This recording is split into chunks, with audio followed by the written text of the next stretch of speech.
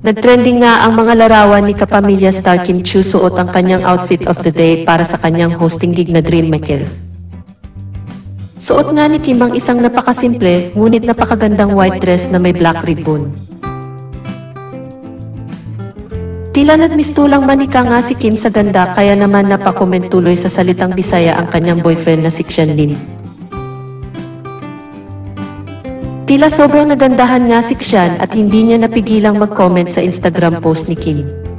Bukod kay Xian ay marami ring mga kapwa artistang napawo at sinabing parang manika nga sa ganda itong si Kim Chiu. Patunay nga lamang ito na kahit anong isuot ni Kim Chiu ay kayang-kaya niyang dalhin at lalo pang gumaganda ang damit kapag suot niya.